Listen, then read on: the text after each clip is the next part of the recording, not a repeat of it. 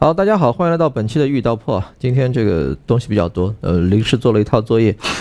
呃，引发各方持续关注的所谓美国政府债务上限的问题，呃，谈不上意料之外，在情理之中卡着点吧。那说六月五号据说要到期了，那么现在整个这个协议已经达成，法案已经通过，整个流程走完，就等着拜登总统去签了啊，就签。那么签的话，签了个啥呢？基本上这个和之前传出来的这个谈判的要点差不多，大概有这个五个方面的要点。我这边整理了一下，大家可以看一下，把那个图投出来给大家看一看。第一个呢，就是说，呃，就是把债务上限啊提高到二零二五年啊，即下次总统选举之后啊。第二个呢，国内支出会受限啊，但是这个限制不会像共和党人要那么多。第三个呢，会有一些地方受保证，国防、社会保障、呃医疗保险、退伍军人计划四个方向上是不受影响。那这边你看，基本上民主、共和两党各取其二啊。国防和这个退伍军人这块可能更加接近于共和党的偏好，呃，社会保障和医疗保险更加接近于民主党的偏好。那么一些接受政府援助的人会面临一些新的工作要求，这个你可以理解为共和党有所得。那么大型的能源项目的审批程序将会简化，这也可以理解为共和党有所得。但第一块债务上限延迟，这个事实上冻结两年，然后交换出来的支出受限，大体上是百分限制在百分之一的范围之内。这条呢，这上面这第一条、第二条啊，共和党的。那边呃，激进派认为这个让步太大，民主党那边相对来说比较好，所以这边给大家念一个数据，呃，当这个法案到这个众议院那边去进行表决的时候，最后当然是通过了呢。那么赞成票是三百一十四票啊，反对票是一百一十七票。那么在众议院的民主和共和党中呢很有意思，共和党当中支持的是一百六十五票。啊不，共和党当中念错了。共和党当中支持他的是一百四十九，哈，共和党一百四十九，民主党支持的是一百六十五，啊，就是民主党支持的这个法案的这个人数比共和党要多，啊，那么当然反对的人里面，民主党持反对意见的是四四十六票，共和党持反对意见的是七十一票，啊，就是说，在这个法案的表决过程当中，啊，表现出来的情况是在众议院里面。更多的是民主党人支持这个票啊，支持的民主党人是一百六十五，啊，共和党人是一百四十九，支持的民主党比共和党多啊，反对的人里面，呃，四十六个共和党反对，反对的人当中，哎，比较分布也比较明显，这个共和党优势啊，这个显著，呃，更多的共和党人反对这个东西。当然，从具体的内容上来看，关于第一项啊，支出受到限制啊，但是不会像共和党人想要的那么多啊，就是。共和党人当初认为呢，就是说是必须要做限制的。最初啊提提出的指的是什么呢？就是这些，呃，十年期的支出限制，平均每年要砍掉百分之十八。那这是一大刀一大刀。那么你看，现在它基本上是二零二四年的非国防支出大体上维持在二零二三年的水平，然后在允许在二零二五年的时候呢增加百分之一。那么在一定程度上啊重新分配其他项目的资金，其他事项还包括。比如说啊，这个之前引发广泛关注的，关于美国国税局啊，在波士顿圆脸之前说过要增加一部分特工啊，去强化对富豪税收的上面。你看这个中间讲到七百亿美元削多少呢？削一百亿，变成七，从八百亿削到七百亿，砍掉了一百亿美金。那么用这笔钱来保留其他本来会削减的等等这样一些项目。那么呃，从共和党的反对者那边啊。怎么来评价这个协议呢？基本上是这样一个评价，就是我们原来需要一大块牛排，一整块肉。什么叫一整块肉？啊，我们以这个不惜让美国主权信用债啊冒违约的风险作为代价啊，我们交换什么东西？我们交换的东西是一个长期的、实质性的。对美国政府的预算开支进行削减的这么一个计划，十年时间，总计啊，大概是达到六千五百亿美元的这样一个水平，然后每年啊减少百分之十八的这个联邦政府支出，从而大幅度的、显著的削减啊，或者说是控制美国联邦政府的支出。继而实现对于美国联邦政府债务上限的啊这样一种有效的压制。这是一一整块肉啊，那你现在呢？砍了。细细碎碎，我原来吃一整块汉堡的啊，这个牛牛排的，你给我现在给我来了一个搅匀的肉酱啊，汉堡看上去啊，你可以说这样子你取得了胜利啊，你在那边也取得了胜利，但是相比较那个总体的削减而言，这一切都是零零碎碎。那么这个特征体现了什么？在一定程度上体现了，嗯，倒是美国华盛顿决策圈的一种现实。这种现实是什么？这种现实就是 那种成熟的。啊，美国建制派之间的这样一种勾兑啊，接下来我们看一看这个国债上限的问题。很多人讲这个国债上限是什么，或者说国债上限的意义和影响是什么？给大家看几张图啊。第一张图，你看这张图，美国国债啊，这是一张比较长时段的图啊，上面有一个呃非常呃有趣的一个啊标签，请大家注意看。一啊，我们继续回到那个状态，不用画了啊，这样子，一百五十年啊，美国国债的这样一个演进啊，它从大体上从一九零零年开始往后推到大体上是二零五零年的这样一个水平啊，二零五零年这样一个水平，然后你会发现什么呢？啊，就是首先美国国债啊，在历史上，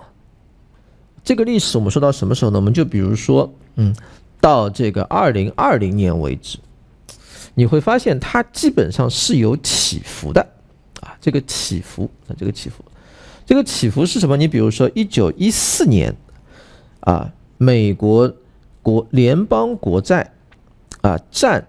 美国 GDP 的比重大概是百分之三点五。这张是一张比重图啊，就是用当年美国联邦的。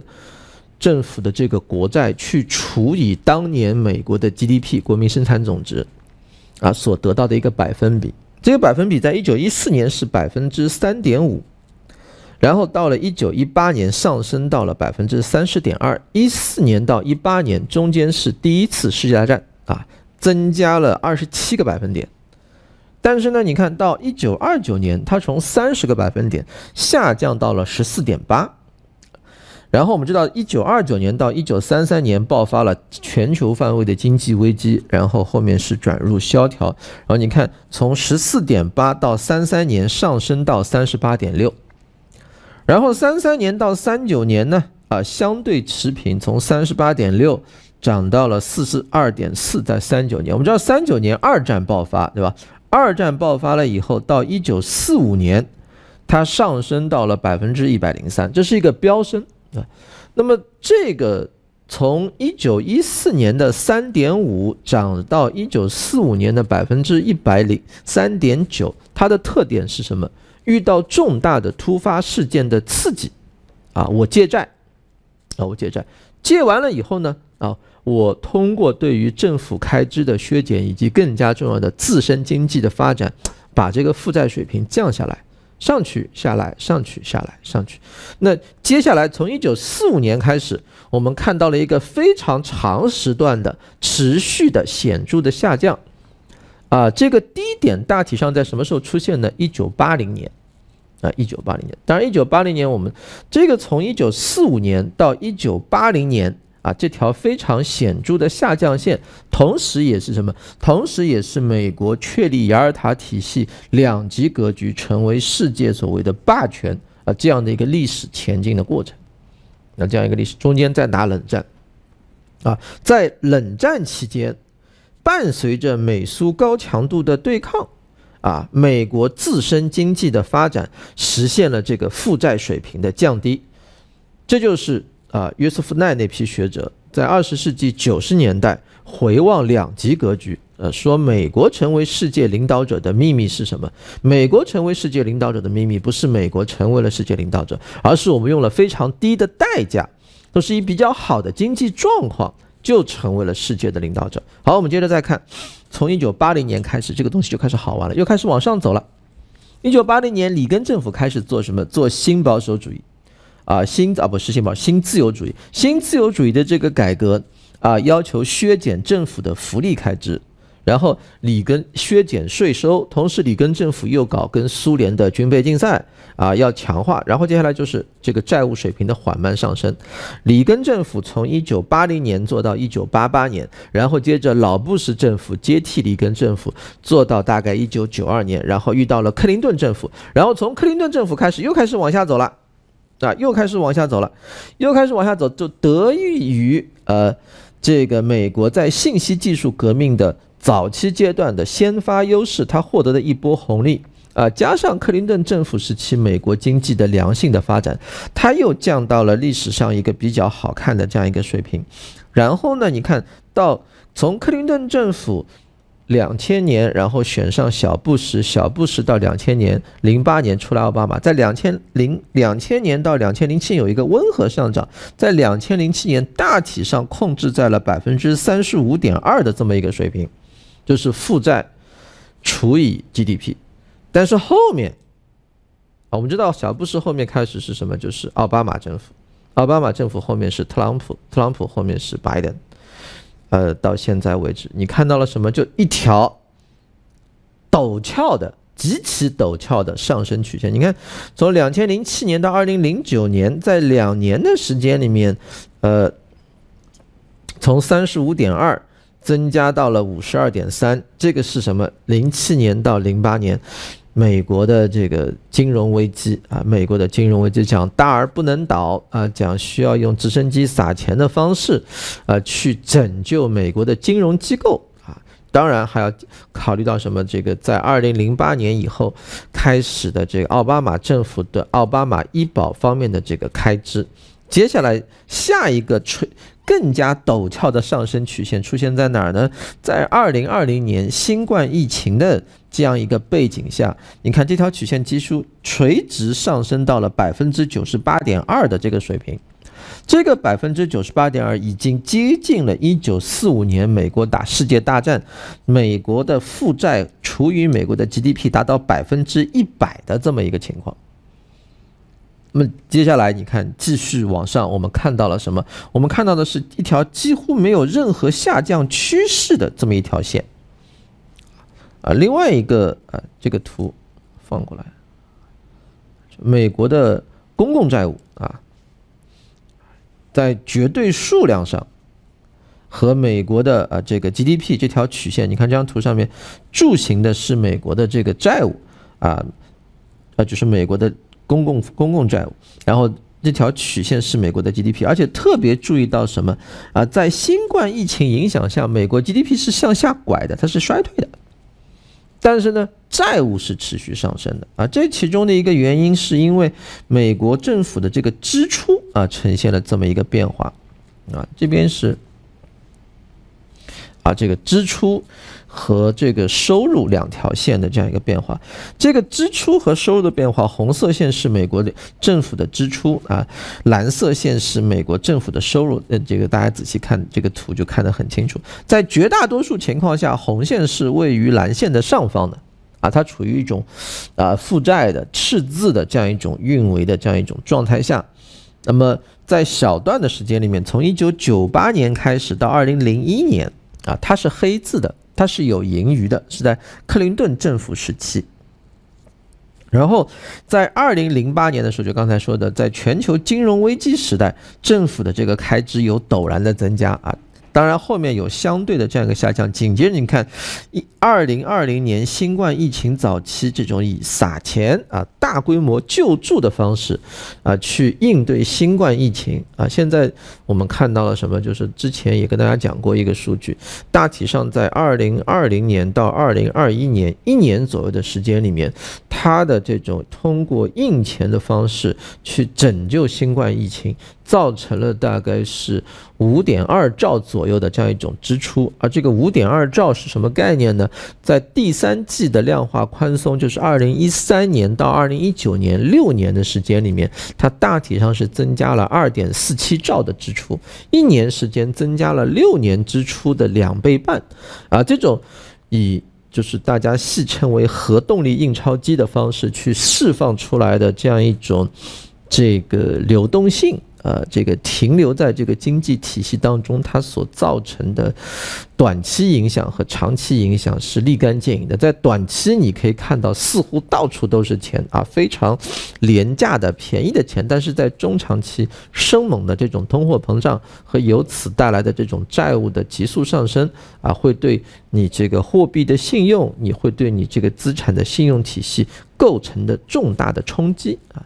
难冲击。当然，接下来我们再看一张更有意思的图，就是美国联邦政府的这个支出和收入，它用在什么地方啊？这是非常有意思的一张图，大家可以看一下。我们来看一看它的这个构成，它的构成，然后就知道它的这个特点在哪儿。那你看啊，这边左右两边啊，一边呃是支出啊，一红色的是支出。一边呢是收入啊，是收入。那从美国联邦政府的角度上来说，你看最大一块百分之二十五是什么时候的 health program 啊，健康啊，医疗保险呃，医疗健康支出。然后呢是 social security 社会保障二十三点六，然后呢这个是收入保障 income security，然后还有联邦呃雇员和退伍军人支出啊三点七。啊，三点七，然后还有其他啊一些支出啊是二点二五，接下来呢，呃这边有个一点三兆的啊这个支出，这个支出里面是看这些用途，然后你看在这当中有百分之十五点四是用在国防上的，啊这这个下面有一个特别好玩，就国际事务啊外交 international affairs 占美国联邦政府支出的多少呢？百分之一点二。国防支出十五点四，外交支出一点二，一点二，一点二不能算二吧？一点二算一差不多对吧？十五点四我们算十五，十五倍。而美国是一个这个更加习惯性用这个肌肉去讲话的，或者说坚定的贯彻说话轻声细语，甚至语无伦次，但是拿了一根大棍啊，所以用这种方式来做。然后你看其中的二十五点五的。健呃医疗呃健康医疗健康支出和二十三点六的社会保险支出，你就知道为什么这个共和党人在削减联邦支出还以及十五点四的国防支出上，你就发现民主共和两党它所代表的不同产业和利益的诉求。对于这个削减开支方法的这样一种争议啊，这样一种争议，对于民主党人来说，优先考虑当然是你的十五点四的军费里面能不能去砍出一些什么东西来，对不对？对于共和党人来说，当然是你这个二十五点五和二十三点六加在一起，将近于百分之五十的属于医疗健康福利方面的支出能不能够砍？那么这关系到什么？选票，各自的政治基础啊，各自的依据。然后在税收方面，你看这个个人所得税 （individual income tax） 百分之五十，然后联邦雇啊就雇员薪资啊这这部分税收啊这个是三十六啊，其他的这样一个税收构成，然后这中间形成了这样一个啊赤字的部分。这个赤字的部分带来什么问题？带来两个问题，就是说作为一种发展模式，你这个国家的发展。主要的钱来自于哪里？从二十世纪八十年代开始，在美国国内啊，受新自由主义影响，里根政府启动了这么一种模式，就是我减税，我减税。当然，减税以后，减税在美国国内的选举政治当中是一张王牌。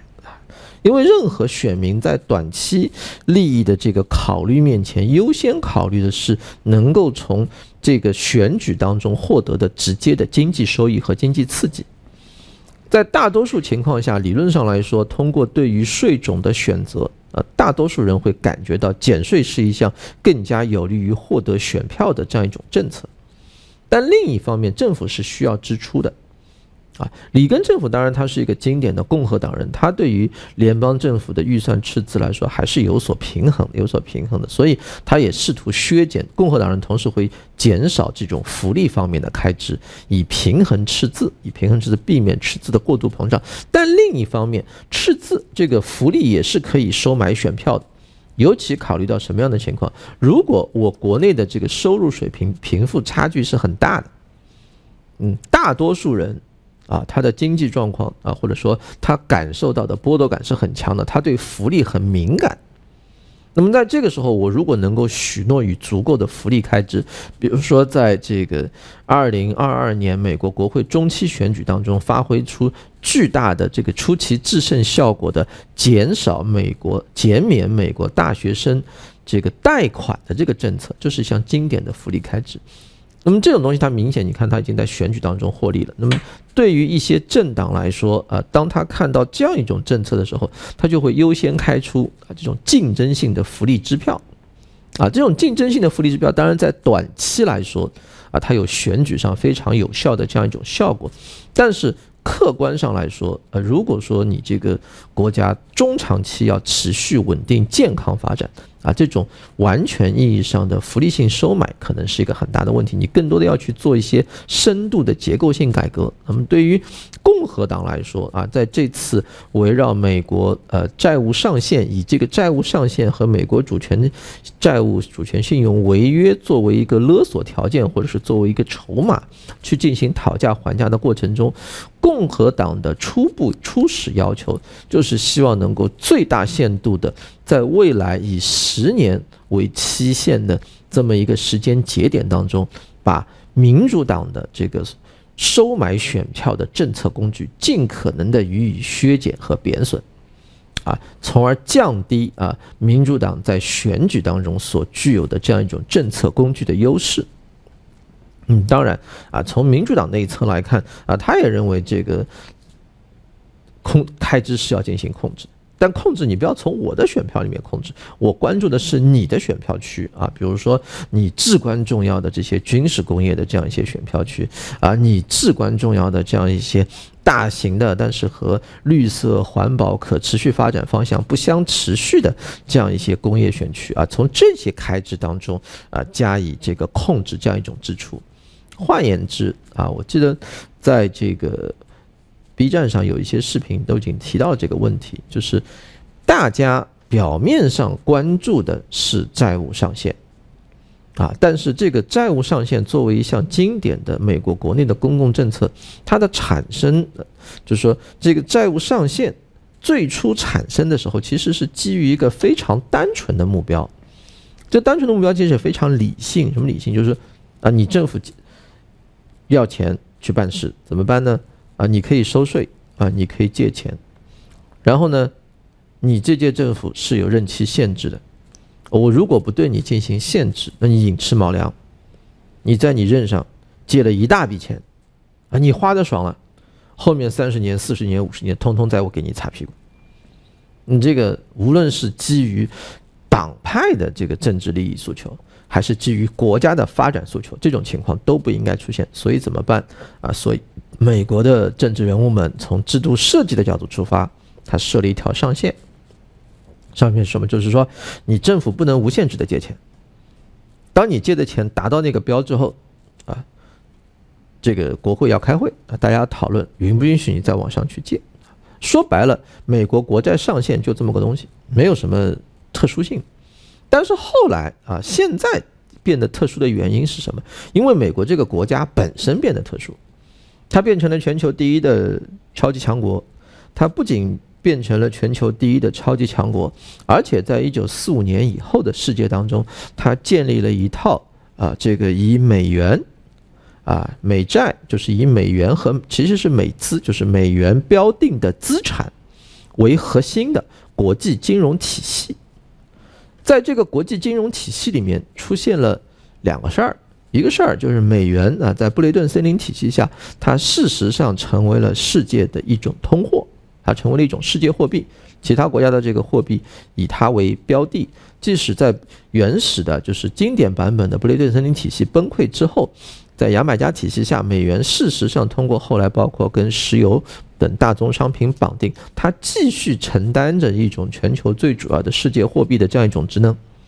而在承担这样一种职能的同时，美联储获得了其他中央银行所不具备的一种事实上的特殊权限，这是一种功能性缺陷。伴随这个秩秩序所产生的，就是它可以无限制印钞，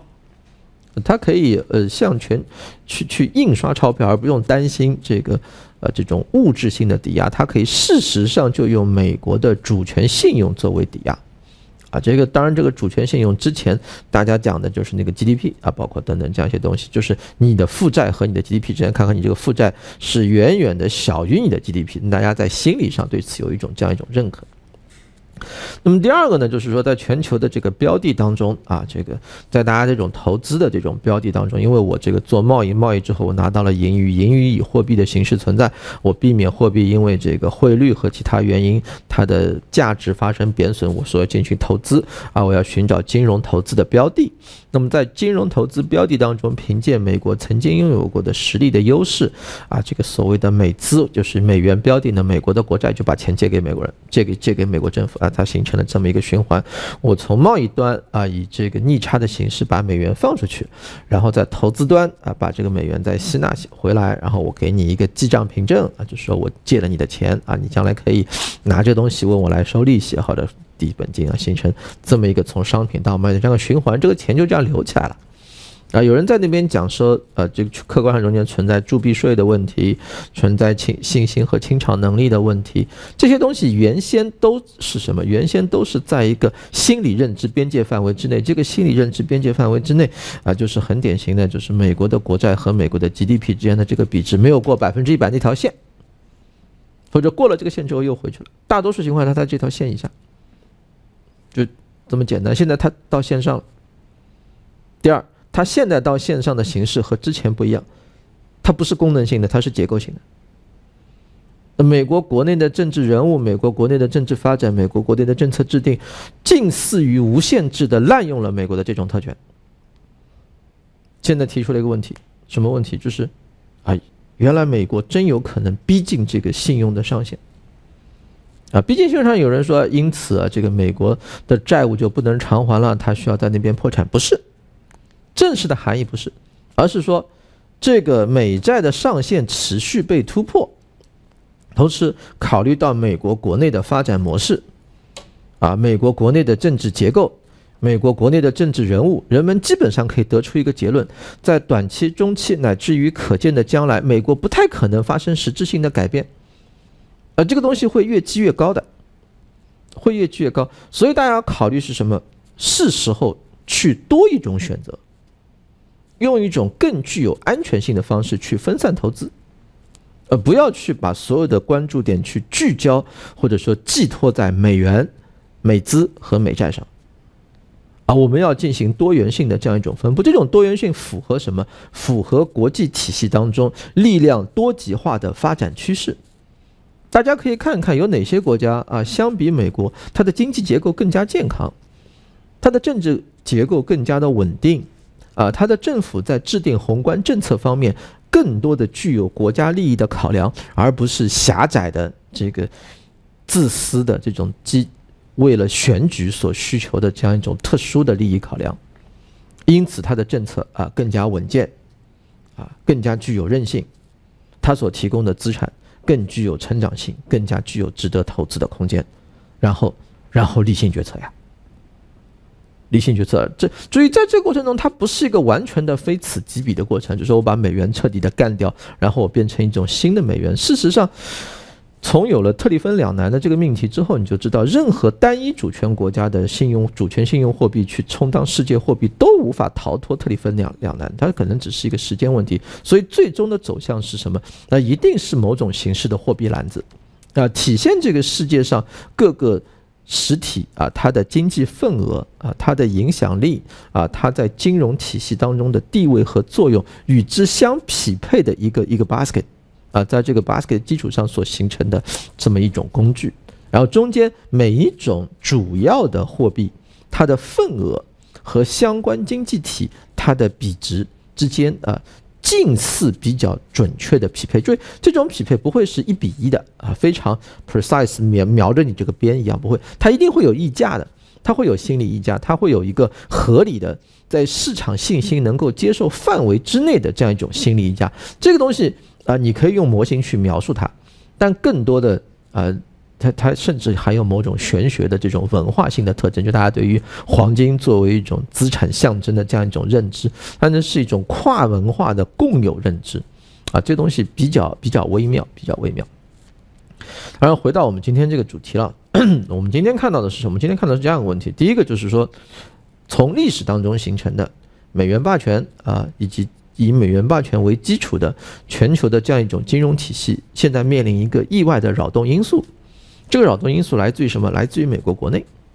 美国国内的这个扰动因素显示，今天的美国基本上已经可以说进入了一种债务驱动型的增长和治理，就是说这种发展模式的过程当中，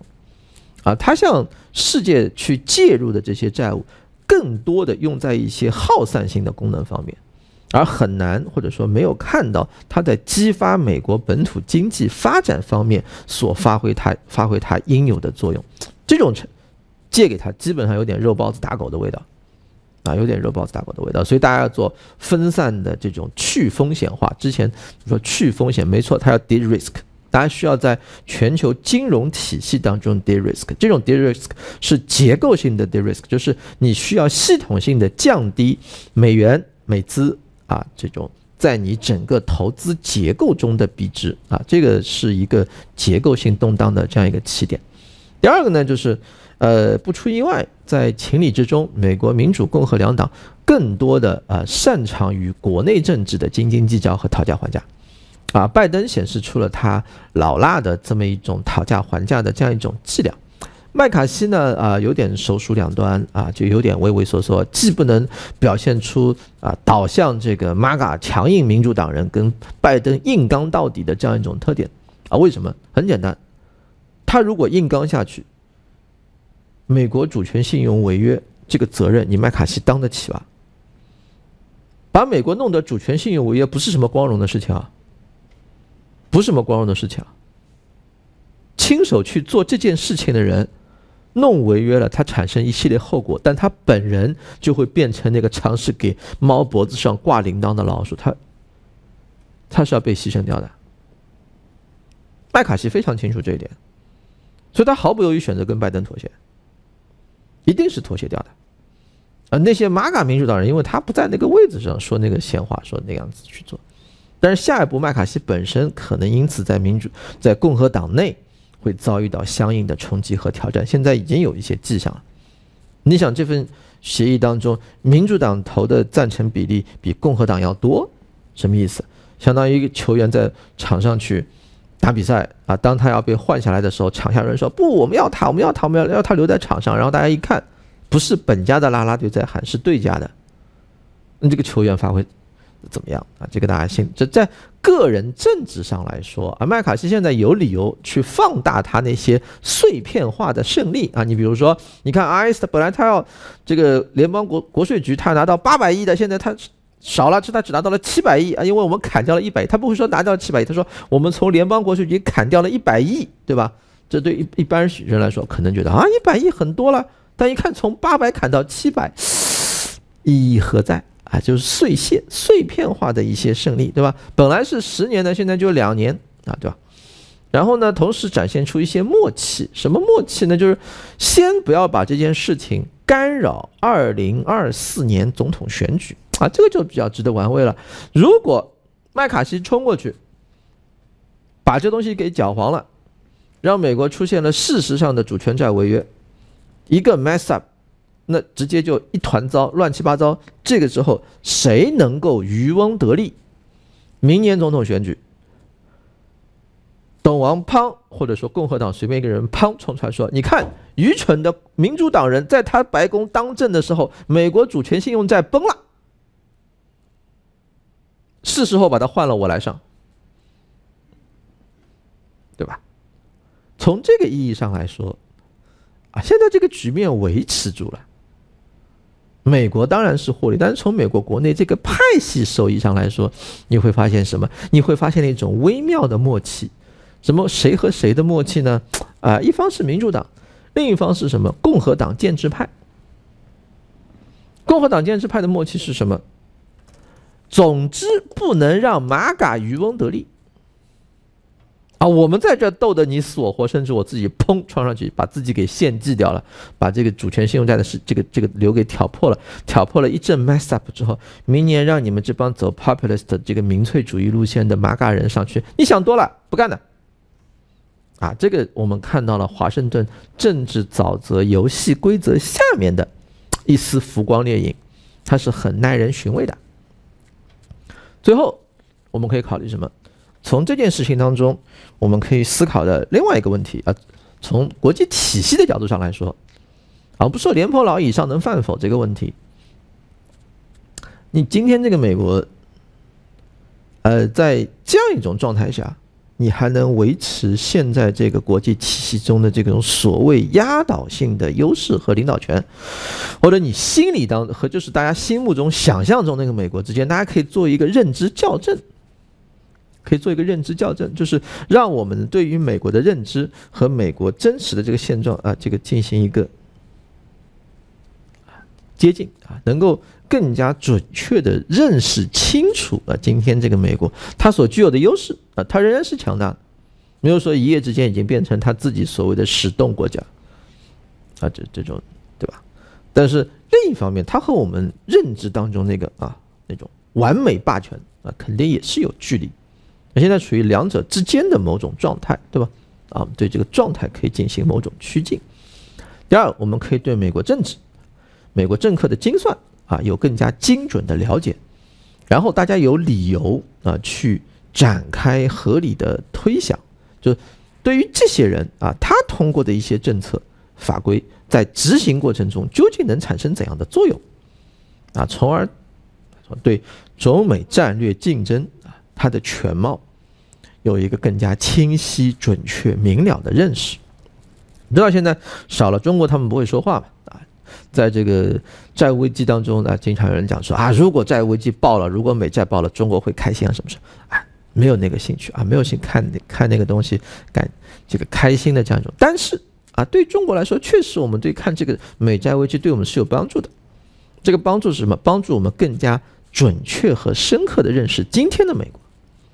啊，是今天的当下的真实的美国，不是昨天的历史当中的想象出来的那个不准确的美国。这个对我们是有意义的，呃，然后，然后看清楚了以后，我们自己该做什么样的事情，该做什么做什么呀，然后确保未来历史以不出现在意料之外的方式，朝着正确的方向前进和展开。好，今天就讲到这儿，谢谢大家。